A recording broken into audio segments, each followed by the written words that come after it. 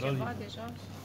Că Dar lumea nu speculează. există, nu po- în, într-un partid, având în vedere că domnul într-un președinte partid poți să ai altă opinie, nu putem să avem toți uh, aceeași opinie.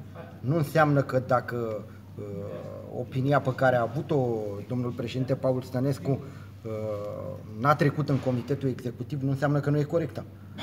A arătat că comitetul executiv în, în, în perioada asta își dorește altceva. Asta nu înseamnă că nu este corectă sau că noi uh, nu-l susținem în uh, demersul pe care l-a început și uh, opinia pe care a emis-o. Deci nu v-ați așteptat la represalii nici politice, de- nici administrative, niciun fel. A conducerii filialei din partea Păi conducerii. n-au pe ce motive. Există un statut, partidul nu este a cuiva personal, uh, partidul este constituit uh, din 400 de membri pe baza unui statut înregistrat la uh, Tribunalul București. Deci să nu vorbim de Rămâne Oltul cu aceeași putere organizațională. Oltul a fost întotdeauna a dat voturi și pentru partid și avem aceeași influență în partid ca și până acum, la nivel central. Deci uh, să ne înțelegem, până acum un an de zile, organizația OL n-a avut ministru.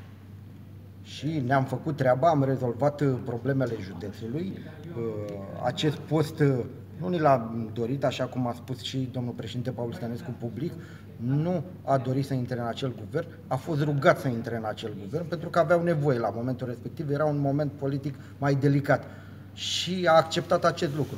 Ieșirea dânsului din guvern pe baza unei opinii separate față de majoritatea comitetului executiv uh, nu înseamnă că uh, nu avem dreptate sau că dânsul nu are dreptate în ceea ce și-a propus, ci așa cum a exprimat încă o dată, înseamnă că în acest moment comitetul executiv al partidului și-a dorit altceva.